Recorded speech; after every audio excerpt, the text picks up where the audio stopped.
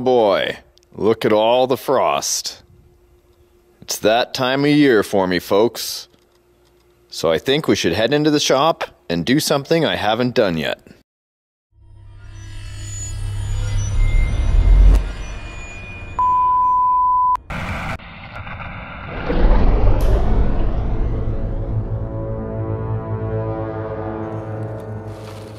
Welcome, welcome.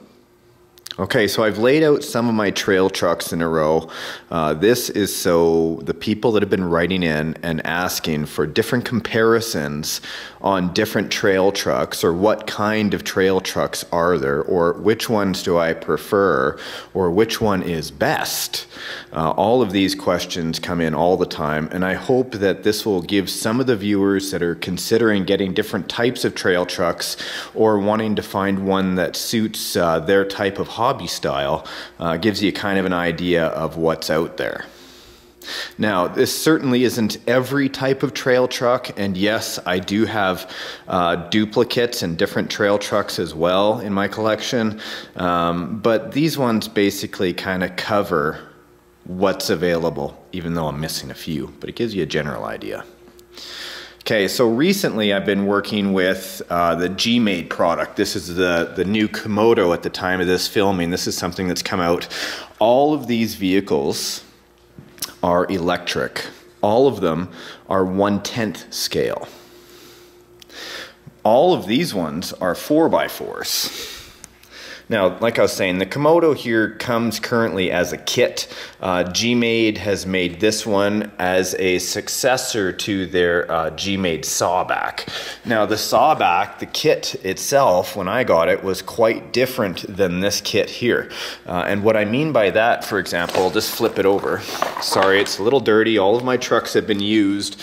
Uh, not too many shelf queens around here, but not, nothing wrong with that. I just like to use my trucks.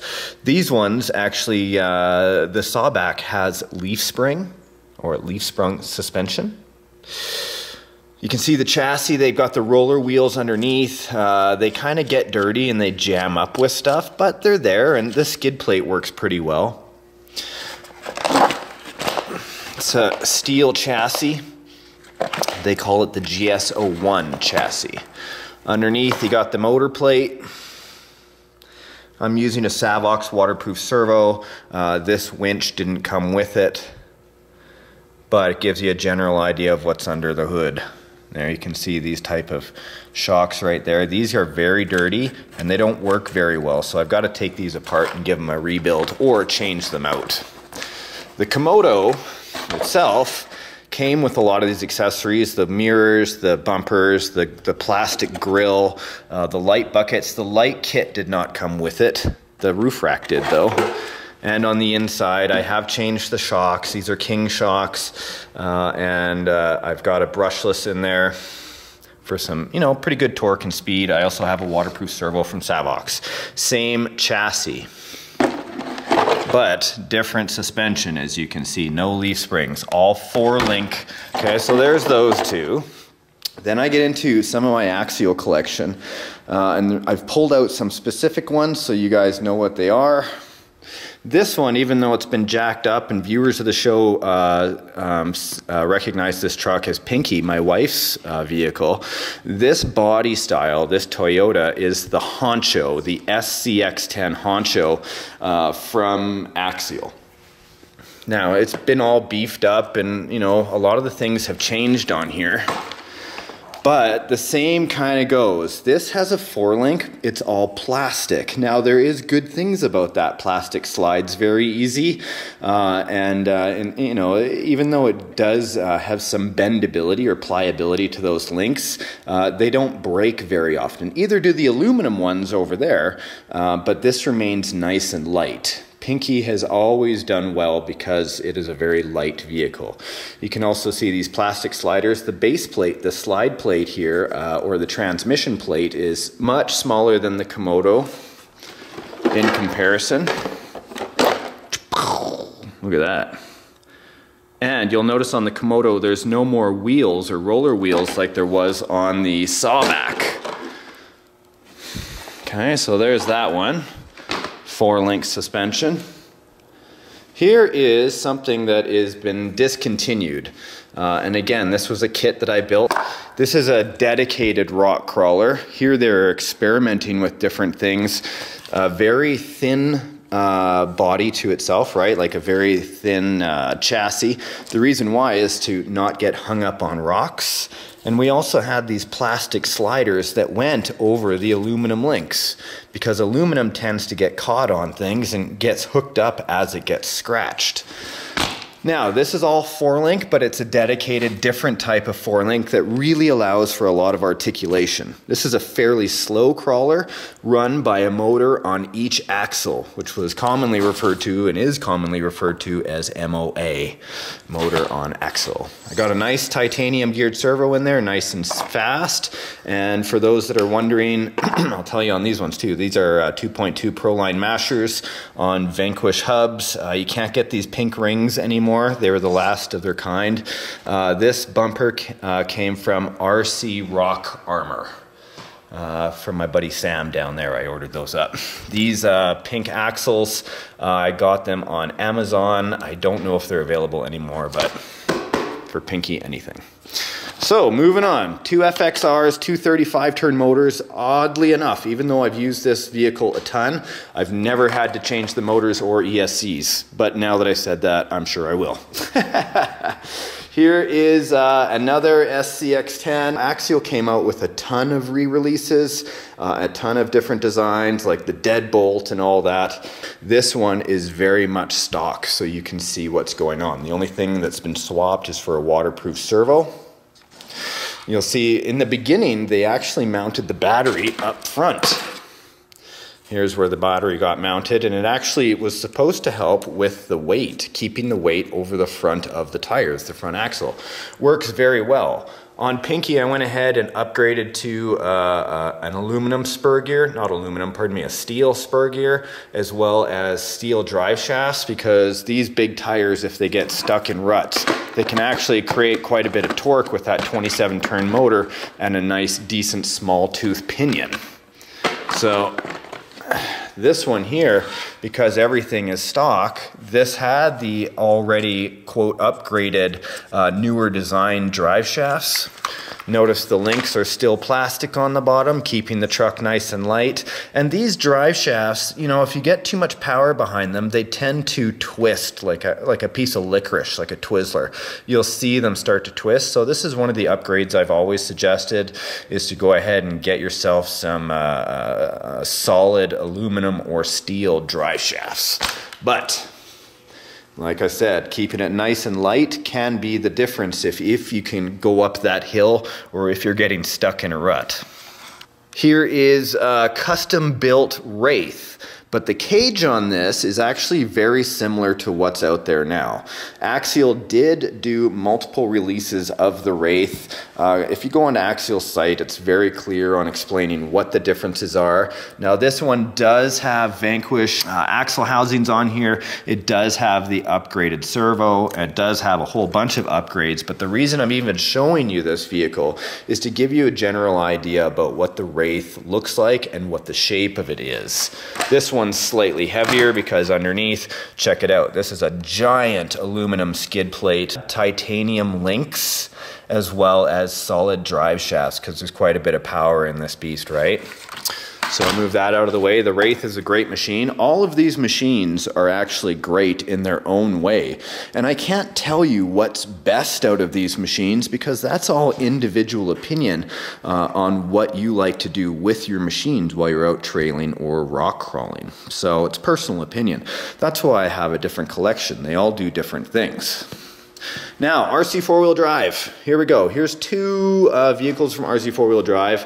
Uh, this was my Gelande 2. Uh, I did have a crack in the back, so I ended up chopping it. You'll see I don't have wheel nuts on this right now, uh, only because I set it up for you guys for this video. The bumper itself with the Fairlead, all this was uh, uh, accessories from RC four-wheel drive that I purchased along with the winch and this double LED light, which is quite bright on a three cell. Now I will lift this up carefully. You can see under the hood, it's a fairly clean vehicle. Now, everything on this vehicle is aluminum. This even features, as I turn around, okay, check it out, a transmission style of motor. Here's where the motor sits on the front, goes into the transmission, a drive shaft out to a transfer case, and a transfer case out to each individual axle. Now, aluminum hangers, everything on this vehicle is, is more built for a scale driving experience. Same thing with their awesome uh, truck as well called the Trailfinder 2. They've had many, many trucks at RC Four Wheel Drive and they still offer a lot of trucks. But these are some of their more popular ones.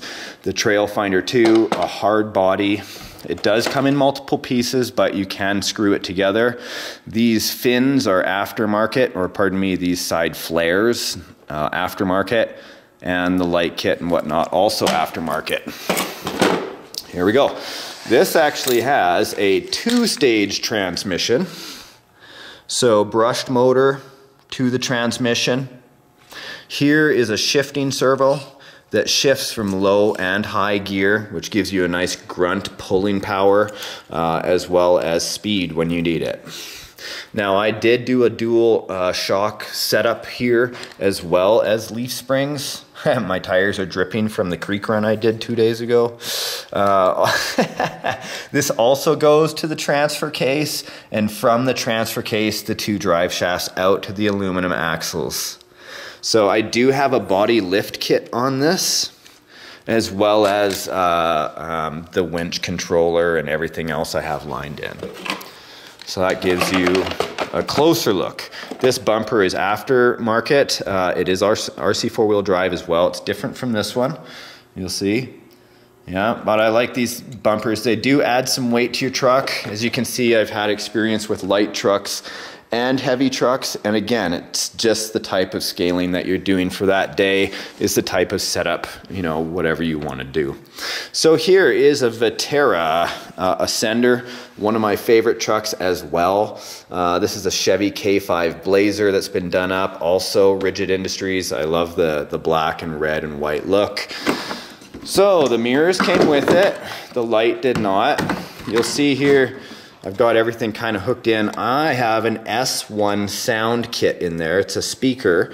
I've just wrapped it up in uh, waterproof tape, really to kind of make it as a splash guard where we can still have the sound of the motor that's throttle driven uh, coming from the vehicle. I did upgrade uh, the shocks. These are the 100 millimeter Kings that I have on the uh, sender down there at the end. Isn't that nice?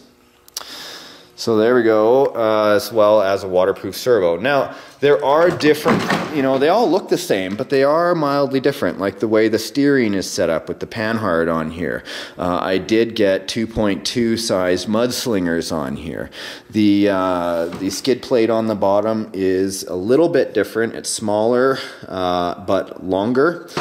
So you can have different bodies. Uh, the transmission is basically the same between all of these. Uh, and really, this one I've upgraded to heavy duty gears in the differentials. I love the way we can access the spool and pinion on these axles. Doesn't that look like a nice straight axle? Um, so this is really easy to work on, whereas other ones are more challenging, like these aluminum ones, you kind of got to take them apart and it's a big ordeal. Same with the aluminum ones here, uh, but the original Wraith is actually pretty easy. All of these take time for new people, don't fool yourself. This all takes maintenance, just like real full scale vehicles. okay, this is a small um, uh, Ford uh, High Lift, or Tamiya, or Tamiya, depending on where you guys are in the world, is pronounced differently. Uh, this one is very small tires. This was built very close to stock, except for this add on the back here with the lights and a multi-function control unit for sound, lights. It does shake the truck. It has a shaker that, that makes it look like it's rumbling when it's uh, making noise and has a three-stage transmission. There are a variety of these uh, Tamiya high lifts that you can get. Uh, I've also featured a Toyota Tundra on the truck, my uh, on the show, my black one, uh, and this one is quite a bit of fun. Heavy duty. Uh, here we go with the last one I'll feature today. This is another Tamiya. Uh, this is the Unimog CC01 tub style chassis. Now, a lot of people are conflicted about this. Some people love them, some people hate them. Some people think that they're not. Um, they're not worth it or they're not as capable. I had a light kit stuck there on, on one of these hooks. I love this vehicle, to be honest with you. My friend Charlie gave me this truck, and even though it's a tub style chassis, and what I mean by that is that it's actually a tub, right? Everything fits on the inside. Less like these all have uh, ladder frames, right? So you can bolt everything on. This one is different. Everything fits in here, and really the articulation is not as much. It still has a suspension, but I find this to be one of the most realistic vehicles on the market. Yeah, see, look at not super high quality. You can find these really inexpensively. Uh, you know, you're looking around 300 bucks. Uh, if you if you want to look around, you can certainly find it for less.